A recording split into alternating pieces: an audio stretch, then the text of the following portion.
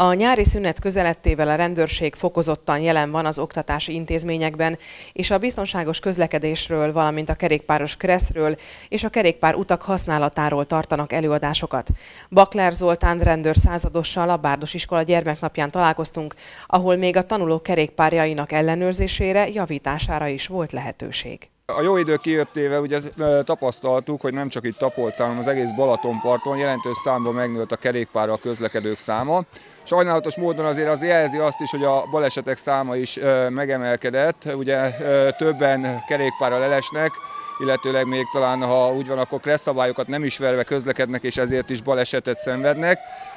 És ugye nagy öröm számunkra, hogy azért Tapolcán, ha megnézzük a kerékpárút hossza, megnőtt, megnövekedett Tapolca területén, és ugye most, hogyha ezt a, átadják a kerékpárútnak ezen részét, akkor egészen a Dobó lakóteleptől Diszelig ki lehet úgy kerekezni, hogy a balesetveszély remélhetőleg egyre kisebb lesz, egyre kisebb számban történik ezen az útszakaszon baleset, és amint láttuk a Csobánsz túrán is, Tapolcán is nagyon sokan használnak kerékpárt, tehát reggelente azt tapasztaljuk, hogy nagyon sokan járnak nem csak iskolába, hanem már munkába is kerékpárral, és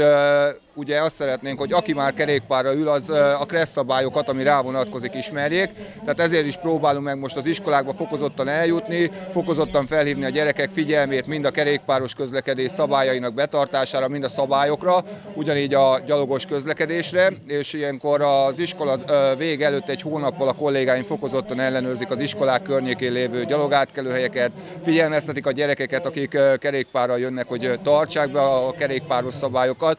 Csak ugye akkor lehet a szabályokat betartani, hogyha ismerik. Tehát ezért is kérnénk mindenkit annak ellenére, hogy megpróbálunk minden iskolába eljutni, óvodába eljutni, hogy a, tanítsák, ne csak arra tanítsák a gyereket, hogy el tudjon indulni a kerékpárral, hanem az, azt is tanítsák, hogy milyen szabályokat tartsanak be, és akkor remélhetőleg minél több gyerek haza is ér, anélkül, hogy megsérülne. Fontosnak tartom azt, hogy pár ezer forint, mert az én gyerkőcöm is éppen most tanul kerékpározni, egy bukós isak megvétele, lehet, hogyha minél többen használnak bukós isakot, minél kisebb a lehetősége, hogy valaki megsérüljön. Tehát ezt nagyon fontosnak tartom. Azt is fontosnak tartom, hogy a megfelelő kötelező tartozékok legyenek meg a kerékpáron, és hogyha elindulunk, vagy tavasszal, tavasszal, hogyha még nem tettük meg, akkor nyár elején vizsgáljuk át a kerékpárt, hogy a fék valóban működjön. Ha tudjuk, hogy úgy indulunk el, hogy sötétedés előtt nem fogunk hazaérni, akkor világító berendezésekről gondoskodjunk, láthatósági mellényről gondoskodjunk, és remélhetőleg akkor úgy kezdődik a nyár, illetőleg úgy fog véget érni, hogy nem történik súlyos sérüléses kerékpáros baleset. Aztán az önkormányzattal közösen próbálunk még jobban felhívni a gyerekek figyelmét a, a közlekedés szabályának betartására, és ezért is az iskola, illetőleg az iskolákba kiment egy pályázat, a Kresztotó néven. Ez egy kétfordulós pályázat, aminek értékelése végén június 14-én a Tapolcai rendőrkapitányságon kerül átadásra a jól kitöltött tesztlapok közül kisorsoljuk azokat, akik jól töltötték ki mind a két fordulót, értékes nyeremények lesznek, illetőleg ehhez kapcsolódik, illetőleg ez a, a Széchenyi tervhez kapcsolódik még egy rajzpályázat, kerékpárral a városban címmel, ahol külön óvodás, kisiskolás és ugye 5 és 8.